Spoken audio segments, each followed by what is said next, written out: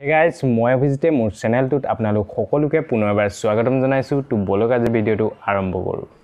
এই মুহূৰ্তত এটা ডাঙৰ খবৰ অসম আৰক্ষীৰ যি কনিষ্টবল নিযুক্তিৰ পৰীক্ষা তাৰ কাইলৈ শাৰীৰিক পৰীক্ষা অনুষ্ঠিত হোৱাৰ কথা আছিল আৰু এই পৰীক্ষা বাতিল কৰা হৈছে। মুখ্যমন্ত্ৰী তথা গৃহ বিভাগৰ দায়িত্বত থকা মন্ত্ৰী গৃহমন্ত্ৰী সৰ্বানন্দ সোণোৱালে আজি এই সিদ্ধান্ত ঘোষণা কৰিছে। খন্তেক সময়ৰ পূৰ্বে আৰু পৰৱৰ্তী পৰ্যায়ত এই পৰীক্ষাৰ দিন ধাৰ্য কৰা হ'ব। কাইলৈ ইয়াৰ আনুষ্ঠানিক নিৰ্দেশনা প্ৰ- প্ৰকাশ পাব। সমগ্ৰ বিষয়টো হ'ল যে যিকেইটা প্ৰতিষ্ঠানে এই পৰীক্ষা অনুষ্ঠিত কৰিছিল M N tech solutions Akshay telecommunications আৰু কেৰালা ইলেক্ট্ৰনিক্স এই তিনিটা প্ৰতিষ্ঠান মূলতঃ পৰীক্ষাসমূহৰ দায়িত্বত আছিল।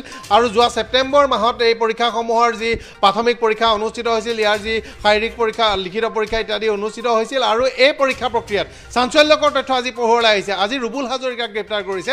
ৰুবুল হাজৰিকা ওৰফে ৰুবুল আলিৰ পৰা বিস্ফোৰক তথ্য পাইছে।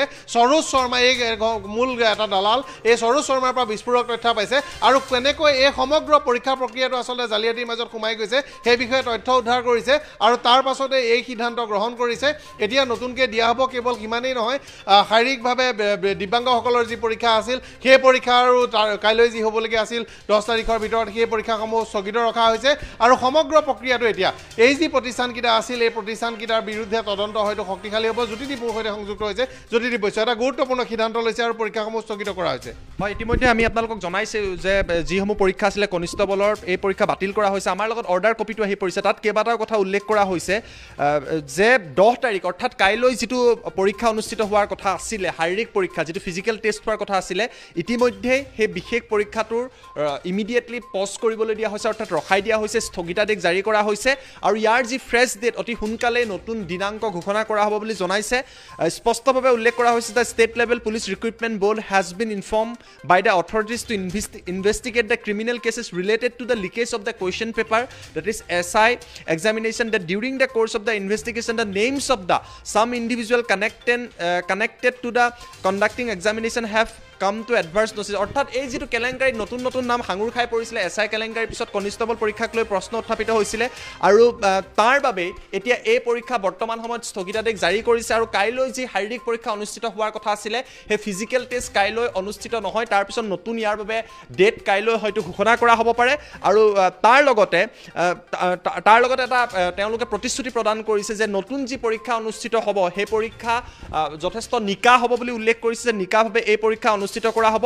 গতিকে এটা ডাঙৰ খবৰ অসমৰ চৰকাৰে মুখ্যমন্ত্ৰী সৰ্বানন্দ সোণোৱাল নেতৃত্বাধীন চৰকাৰখনে এই সিদ্ধান্ত লৈছে আৰু এই সিদ্ধান্ত অনুসৰি যি কনিষ্টবলৰ পৰীক্ষা অনুষ্ঠিত হোৱাৰ কথা আছিলে কাইলৈ যি ফিজিকেল টেষ্ট আছিলে তাত এতিয়া স্থগিতাদেশ জাৰি কৰি নতুনকৈ ইয়াৰ দিন ঘোষণা কৰা হ'ব।